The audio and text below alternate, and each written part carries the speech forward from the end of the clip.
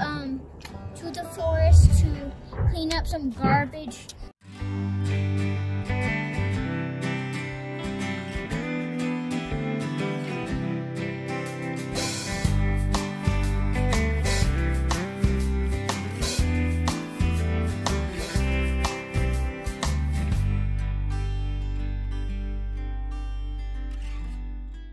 There's probably like some straws and and like um, tissues. Oh, great! Like and probably like a plate or something. One of the things I love about homeschooling and probably don't take advantage of enough is the opportunity to do service projects with my kids. We have a little more time on our hands to recognize needs that are out there and to fill them. On this particular day, the boys wanted to visit the woods by our house that we've noticed several times has quite a bit of garbage in it.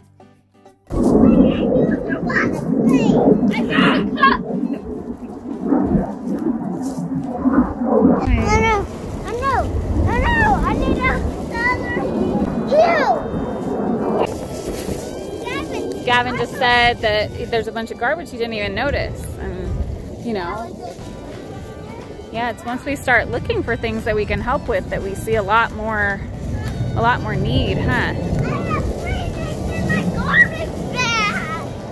Driftwood. That looks like driftwood.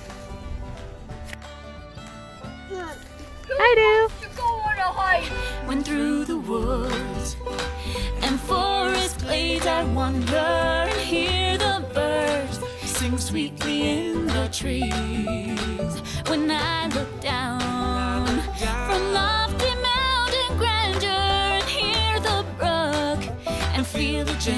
breeze. I just love seeing my kids in the outdoors, see them being wild and free. I'm grateful that we have a lot more opportunity to do so because we homeschool. As a reminder, The Good and the Beautiful has a nature notebook and it has guided questions and challenges to find rocks or to draw what the weather looks like today and really helps the kids explore nature and the beauty that God has created for us. And right now, The Good and the Beautiful is offering their nature notebook, the PDF version, for free. So there's a link to that below. So, hi again. So, Hi. we got our garbage. Bye. Thank you for watching Kim and her adorable children as they shared one of their lifestyle gems with us.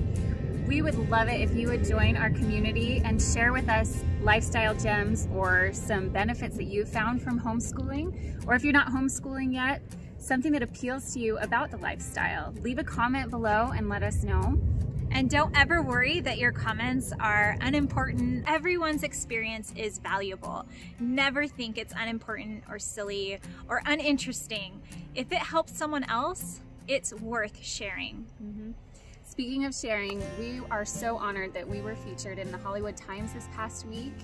They did an interview with Amy and I to find out more about love centered learning and about other homeschooling benefits that we've found and some tips and tricks that have helped us along the way. So we hope that you'll read that article. We'll have the link to that down in the description below. Thanks again and hope to hear from you all soon. Make sure to subscribe and join our community. We'd love to be a part of yours.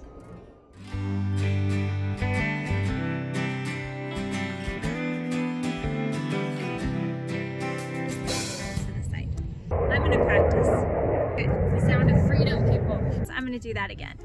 Thank you so much for watching Kim and her little boys. That sounds creepy. Whatever. We're good. So janky. We're good. Okay. um. Okay, we messed up. That's it.